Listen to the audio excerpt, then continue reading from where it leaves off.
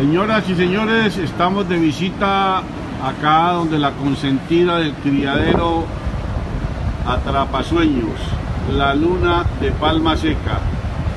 Yegua que estará compitiendo el día viernes en la categoría de yeguas mayores de 78 meses del trote y el galope.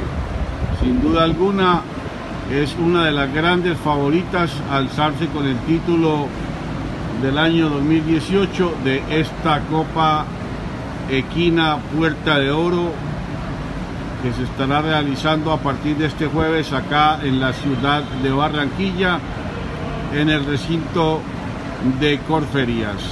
Luna de Palma Seca estará siendo montada por Juan Gonzalo. Criadero Luxor. Los esperamos, no te lo puedes perder.